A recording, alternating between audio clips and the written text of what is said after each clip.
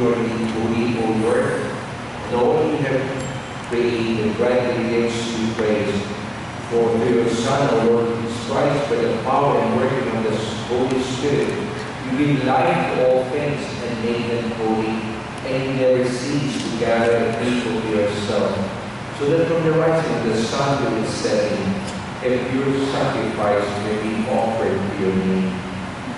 Therefore, O Lord, we humbly implore you the same Spirit which make holy these gifts we have brought to your program consecration, so that they may become the body and blood of your Son, our Lord Jesus Christ, whose command we celebrate his mysteries. From the night he was to pray, he himself took bread, and giving thanks, he sent a blessing, broke the bread, and gave it to his disciples, saying, Take this, all of you, and eat of it, for this is my body, which will be given up for you.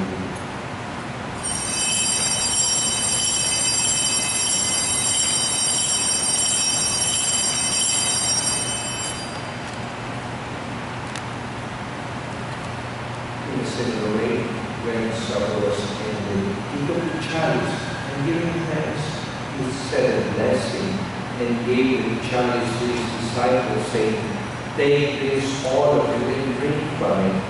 For this is the chalice of my blood, the blood of the new and eternal covenant, which will be poured out for you for many for the forgiveness of sin. Do this in memory of me.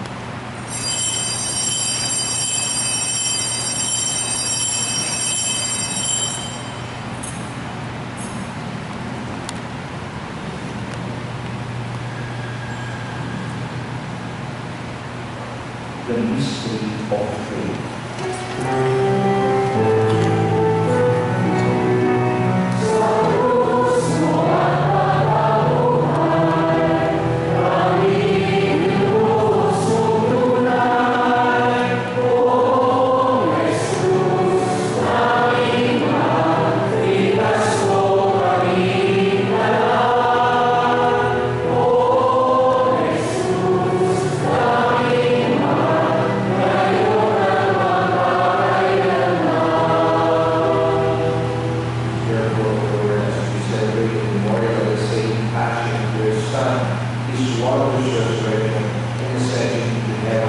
As we move forward to second coming, we offer you in his holy and sacrifice.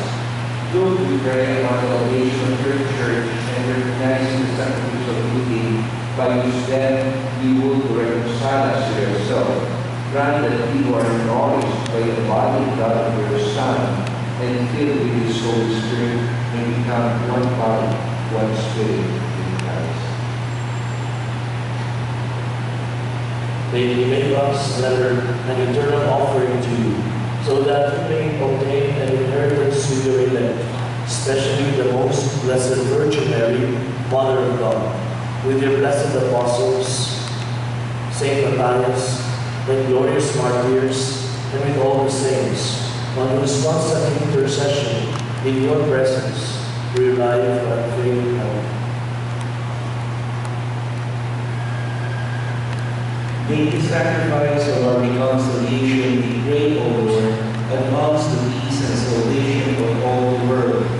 Be eased to confirm in faith and charity your faithful church and word, with your servant Francis Pope, and Luis Antonio our Archbishop, the order of bishops, all the clergy, and the entire people you have for your own.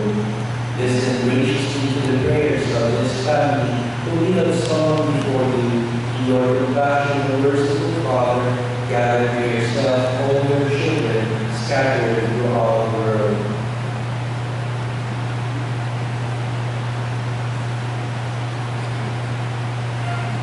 To our departed brothers and sisters, and all who are pleasing to you, their passing from this life, give divine admittance to your kingdom.